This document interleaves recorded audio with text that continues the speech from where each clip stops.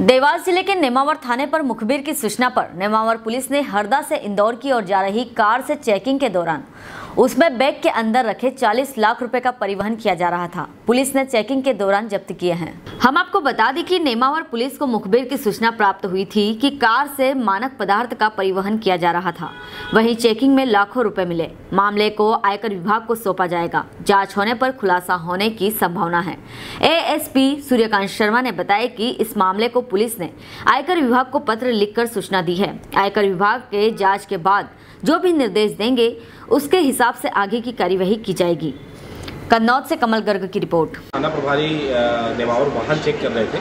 तो हरदा तरफ़ से एक कार जो आ रही थी उसको जब हमने चेक किया तो झोले में कार में चालीस लाख रुपए जब उसको गिना गया तो नगद उसमें मिले।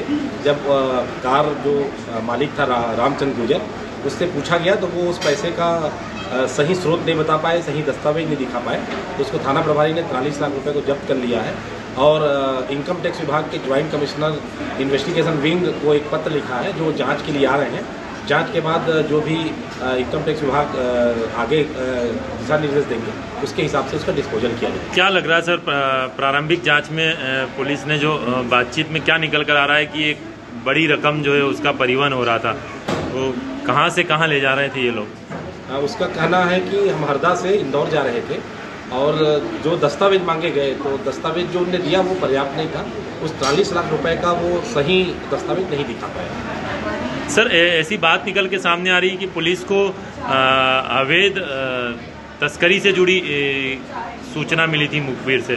हाँ हम कोई भी आकस्मिक चेकिंग जो करते हैं वो मुखबिरी की सूचना पर ही करते हैं और उसी दौरान ये घटना घटी।